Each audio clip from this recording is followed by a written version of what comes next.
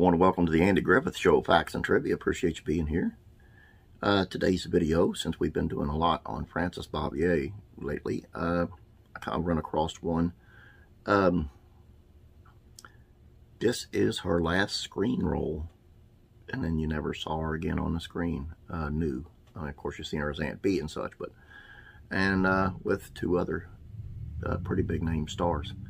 Uh, was their last roles too, so let's look into it.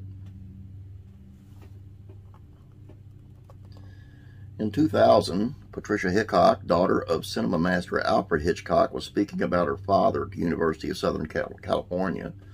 She revealed something shocking about the master of suspense, his guilty pleasure.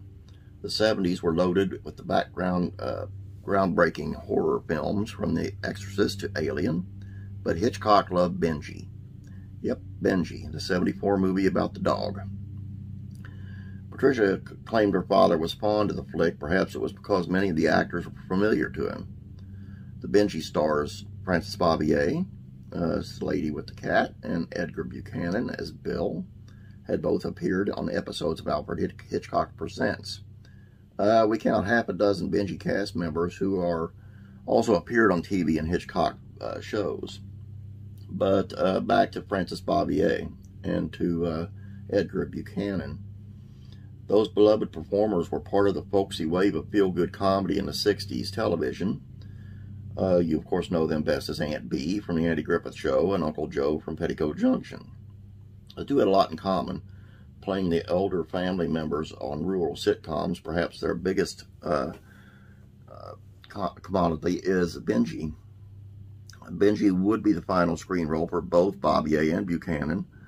Uh, they were born four months apart at the start of the century, though they grew up on opposite ends of the country. Buchanan studied dentistry in Oregon while Manhattanite Bavier trained on the stage.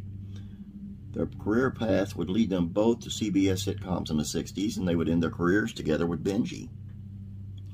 They were not the only two thespians bowing out with Benji. The canine himself said goodbye, too. Playing Benji was Higgins, arguably the biggest dog star of his era and, Buchanan, and Buchanan's former co-star. Yes, Higgins was the dog who played dog on Petticoat Junction. Higgins, believed to be a miniature poodle, cocker, spaniel, and schnauzer mix, was long in the tooth and Benji in his 16th year of life. He would die in 75. Buchanan would pass in 79, and Bavier a decade later. Knowing Benji was the last hurrah for all of them only adds to the tugging on the heartstrings. And to play the lady with the cat. That kind of fits her, doesn't it? Uh, appreciate, uh, I want to say something before I leave. Uh, I really appreciate all your support. Uh, it means so much. Um, and, and all the comments and you guys conversating amongst each other's other, you know, and me just means a lot. Thank you for being here. Uh, have a great day. God bless. Uh, it's going to be a scorcher today where I'm at. I don't know about you, but uh, God bless. I'll be praying for you.